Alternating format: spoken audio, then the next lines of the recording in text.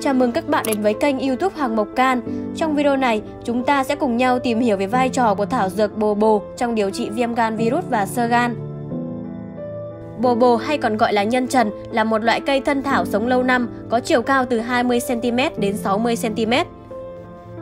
Lá bồ bồ mọc so le hình bầu dục, dài 2 đến 6cm, mép có răng cửa tròn, gân nổi rõ ở mặt dưới, cuống ngắn, thân hình trụ, cứng, mọc đứng, đân hoặc phân nhánh và được bao phủ bởi rất nhiều lông. Cụm hoa mọc thành bông thường có hình cầu.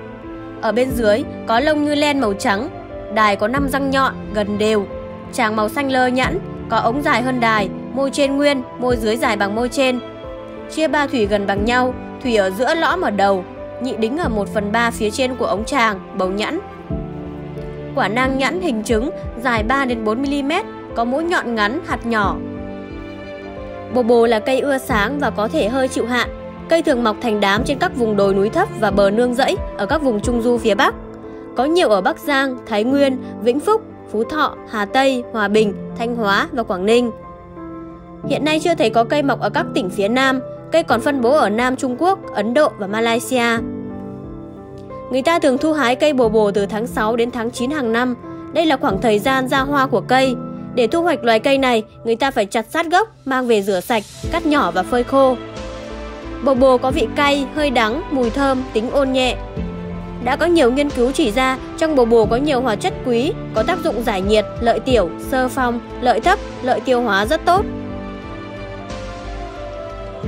Tác dụng giải nhiệt, lợi tiểu, sơ phong, lợi thấp, làm da mồ hôi, lợi tiêu hóa của bồ bồ rất hữu ích trong điều trị các chứng vàng da, vàng mắt do viêm gan virus và sơ gan. Theo nghiên cứu dược lý, tinh chất dược liệu bồ bồ có tác dụng tăng tiết mật, tăng cường chức năng thải độc tố cho gan, rất cần thiết cho các bệnh về gan, giúp nhận gan lợi mật chống viêm nhiễm. Mật được bài tiết tốt hơn nên việc tiêu hóa thức ăn hiệu quả, cơ thể có đủ năng lượng để hoạt động và hồi phục. Người bệnh nhanh chóng cảm thấy khỏe hơn. Lượng độc tố tích tụ trong gan giảm, ngăn cản sự tiến triển của quá trình viêm và chống lại quá trình phá hủy của tế bào gan. Vì vậy, bồ bồ phát huy tác dụng trên cả những bệnh nhân viêm gan, men gan cao, sơ gan, ung thư gan. Bồ bồ được sử dụng rộng rãi, không như các vị dược liệu khác. Mùi và vị của bồ bồ rất dễ chịu nên giảm cảm giác lo lắng cho người bệnh khi sử dụng. Để tăng tác dụng điều trị các bệnh về gan, bồ bồ cần kết hợp với các dược liệu khác. Hoặc Mộc Can giới thiệu tới bạn một số bài thuốc chữa bệnh gan như sau. Bài 1. Bài thuốc điều trị men gan cao. Dùng 30g bồ bồ khô, hãm với 500ml nước trong 15 phút uống thay trà. Bài 2. Bài thuốc hỗ trợ điều trị viêm gan B. Chuẩn bị 10g bồ bồ khô, 10g chi tử khô, 10g đại hoàng khô. Cách làm: cho 3 nguyên liệu nấu với 500ml nước, còn 300ml chia 3 lần uống trong ngày. Bài 3. Bài thuốc chữa viêm gan. Chuẩn bị 150g bồ bồ, 150g bồ công anh cùng với 300g dâu ngô. Cách làm: cho các nguyên liệu tán vụn trộn lẫn với nhau. Mỗi ngày dùng 50g hãm với nước sôi 20 phút và uống, có thể dùng thay trà. Mặc dù bồ bồ rất thông dụng trong đời sống, nhưng người bệnh cần lưu ý những điều sau trước khi sử dụng. 1. Người có tính phong hàn cao không nên sử dụng. 2. Không nên lạm dụng uống bồ bồ hàng ngày. Nguyên tắc điều trị của bồ bồ là lợi mật và khi gan có vấn đề thì mới phải nhuận gan. Trong trường hợp không có bệnh mà lại uống hàng ngày, nghĩa là bắt gan và mật không có nhu cầu tiết cũng phải tiết dẫn tới phải làm việc nhiều hơn, mất cân bằng và sinh bệnh. 3. Phụ nữ có thai và đang cho con bú nên tham khảo ý kiến của bác sĩ. 4. Người bị tiêu chảy mất nước hoặc có huyết áp thấp không nên sử dụng. 5. Không dùng chung bồ bồ với cam thảo bởi sẽ làm bồ bồ mất đi tác dụng, gia tăng nguy cơ bị cao huyết áp.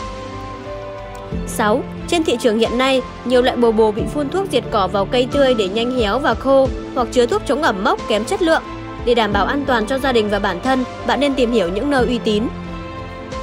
Đối với người viêm gan virus và sơ gan, ngoài yếu tố lợi tiểu, trừ thấp, thải độc, cần phải có giải pháp vừa ức chế virus, hạ men gan, lại tăng được miễn dịch trong cơ thể. Bởi hệ miễn dịch là yếu tố cốt lõi giúp người bệnh mau hồi phục. Dựa trên bài thuốc gia truyền từ thế kỷ 19, dược sĩ Phạm Sa đã phối hợp bổ bổ cùng 6 vị dược liệu khác. Đan sâm, hoàng kỳ, cà gai leo, diệp hạ châu, mã đề, chi tử dựa trên phương pháp cân bằng gan, lách. Đây là phương pháp tác động hướng đích lên hệ miễn dịch giúp loại bỏ viêm gan virus, tăng cường chức năng gan và giảm sơ gan với 5 nhóm tác dụng bao gồm nhóm kiện tỳ bổ khí tăng cường miễn dịch, nhóm ức chế virus hạ men gan, nhóm nhuận gan lợi mật chống viêm, nhóm tăng cường lưu thông máu tại gan giảm đau hạ sườn, nhóm lợi tiểu trừ độc thải độc. Phương pháp đã được chuyển giao thành công trên sản phẩm Hoàng Mộc Can, chuyên biệt cho người viêm gan virus và sơ gan. Sản phẩm đã giúp hàng nghìn người bệnh viêm gan, sơ gan tăng gấp đôi hiệu quả điều trị, tiết kiệm 50% chi phí. Sau 3 tháng điều trị có thể đưa định lượng virus viêm gan về âm tính, độ sơ hóa gan giảm từ F4 xuống F2, F3 tùy mức độ, gan nhiễm mỡ giảm S4 về S1. Men gan về ổn định, người bệnh ăn uống ngon miệng, giảm các triệu chứng vàng da, vàng mắt, đau tức hạ sườn. Liên hệ 1800 6927 để được chuyên gia tư vấn phác đồ điều trị dựa trên tình trạng bệnh thực tế. Cảm ơn bạn đã theo dõi chương trình Sống khỏe với bệnh gan do Hoàng Mộc Can thực hiện. Đừng quên nhấn đăng ký kênh và bật biểu tượng theo dõi để nhận được những video hữu ích từ Hoàng Mộc Can mỗi tuần. Hoàng Mộc Can chúc bạn có một lá gan khỏe mạnh.